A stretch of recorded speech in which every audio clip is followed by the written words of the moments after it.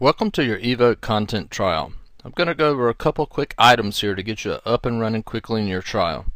First off, we're going to log into the site as the host user. And to log in, I'm going to click Login.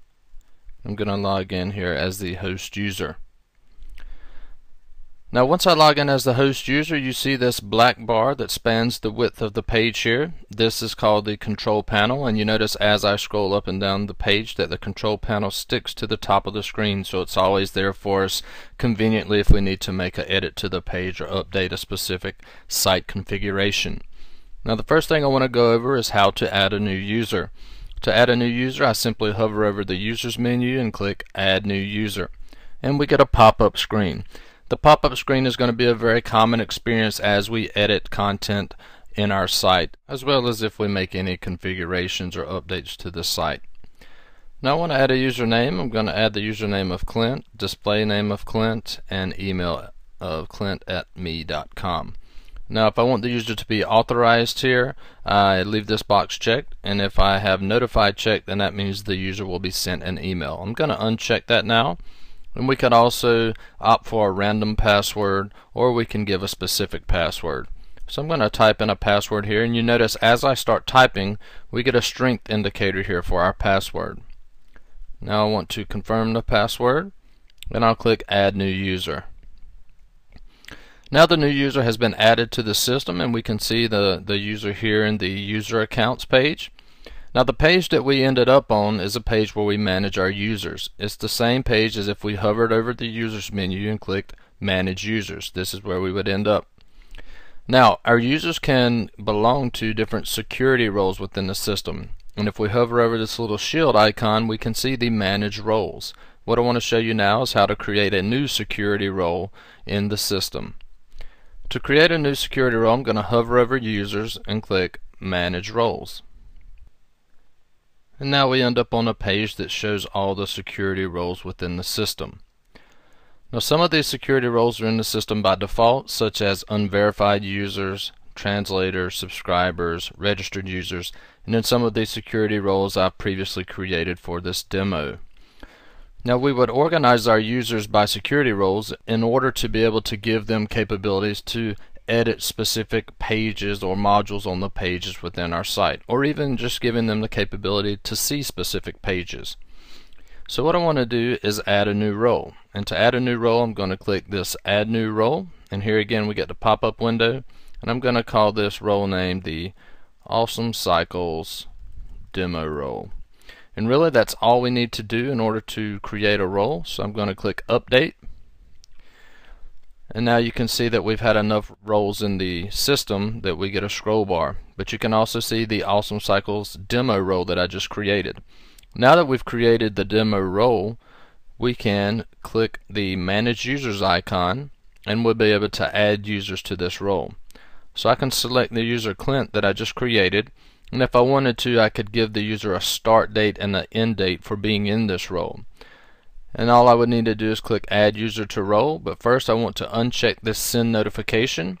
If you leave this checked the user will simply get an email saying that they have been added to a new security role. So I'm going to add the user to the role and now you can see that the user Clint is the only user in this security role. So I'm going to close this screen now. If we were to venture back to the manage user screen and look at the user Clint again, if we click on this manage roles shield icon, now we can see the security roles that the user Clint belongs to. So we just added him to the Awesome Cycles demo role.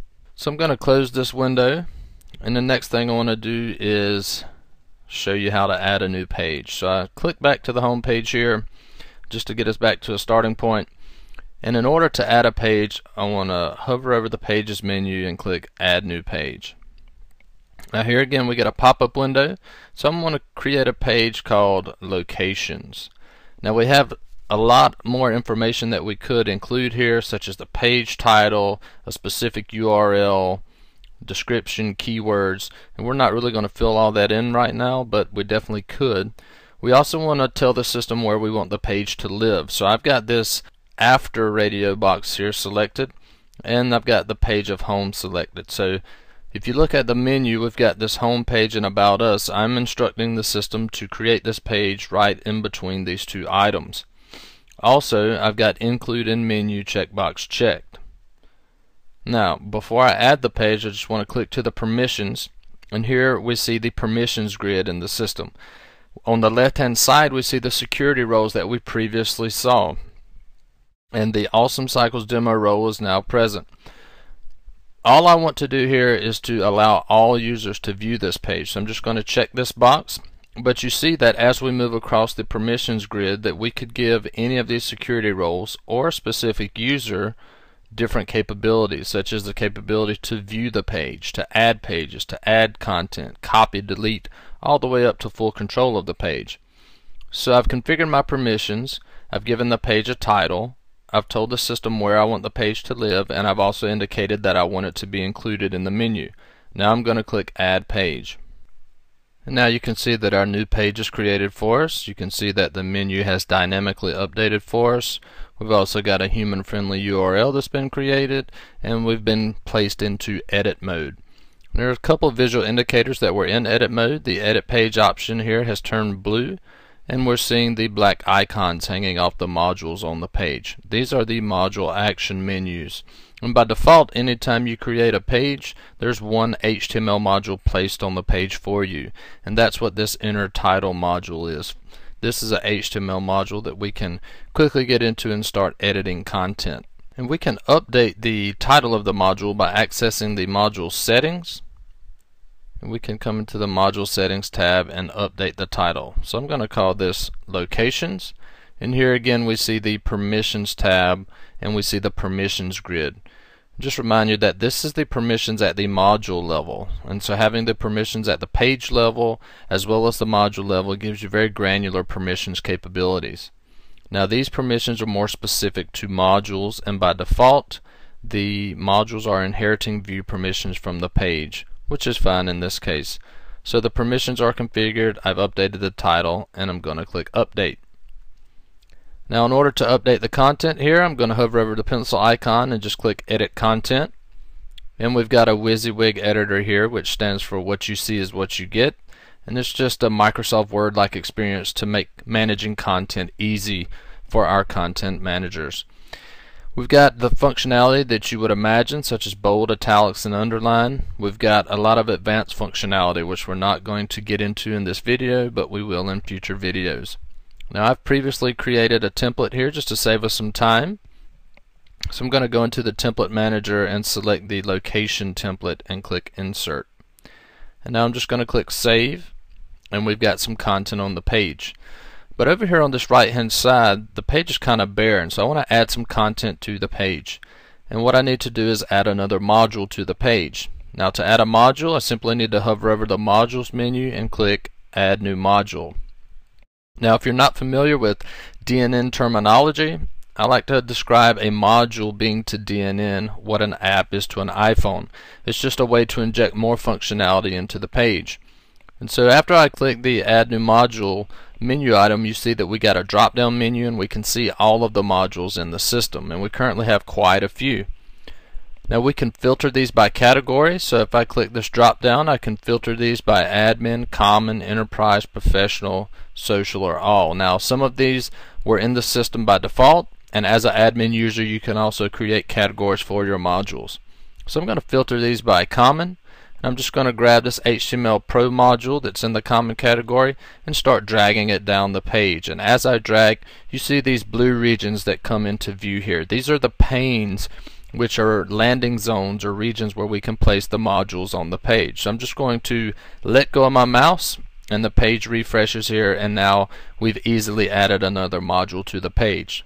I'm going to update the title here again of this module by hovering over that module action menu and clicking settings and I'm simply going to update the name of this to contact us. I'm not going to configure any permissions and I'm going to click update and here again I'm going to edit some content and I'm going to load up another template that I've previously created.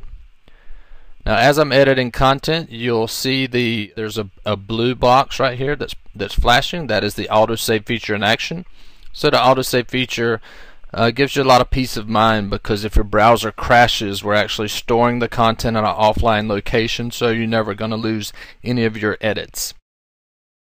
So within a couple of minutes we've been able to create a new page as well as get some content on here and the page is looking pretty decent. Now I also want to show you how you can move the page around as well as if you needed to create multiple pages at the same time. And to do that I'm going to hover over admin and we're going to go to page management. Page management is another way that we can create pages and actually move the pages around. So we just created this locations page and on the left hand side we see a tree like structure here of the, the site navigation or pages within our site. So let's say that we wanted the locations page to live right here after the our services page. So we can grab the locations page and just start dragging it and as we drag it you see that we have some lines that start to come into view and so I want the page to live right in front of this community page. So I'm going to let go. And now you can see that the page has been moved here and we've got a, a message saying that the page has been moved and if we refresh the page we can see that our page indeed now has been moved in between the contact us and community pages. Now let's say that we wanted to create a bunch of subpages of locations.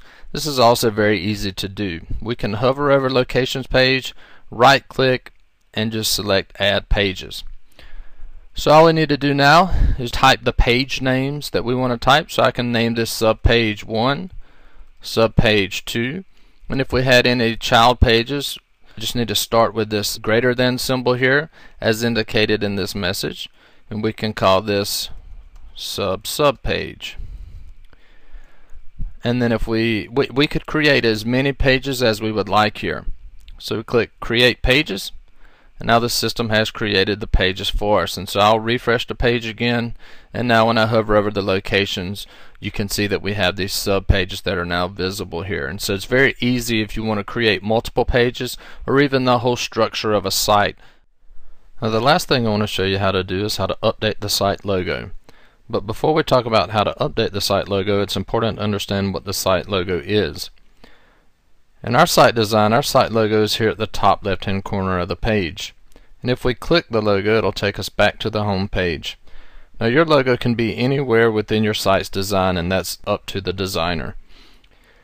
As we click around the site, you'll notice that the site logo remains in the top left hand corner and as I indicated, if we click it, we'll be taken back to the home page. Now in order to update the logo, we simply need to hover over the admin menu option and then select site settings. Once we get back in the site settings area, you see that we have four different tabs here that we can access. Just want to ensure that you're on the basic settings tab. And beneath the tabs we have some panels. So I'm going to minimize the site details and expand the appearance panel. And the first item in the appearance panel is the logo. So we could easily click and upload a file and so we could upload either of these files. And we can also drag and drop. So I can easily take this new logo and drag it and drop it here. And what that did was that uploaded the logo for me and now I'm actually seeing the new logo in the preview. The next thing I need to do is just scroll down and click update. And now our site logo has been updated for us. And that's how easy it is to update the site logo. So I hope this video has been helpful. I'll just remind you to be sure to check out our future videos where we'll discuss more in-depth functionality of Evoq content.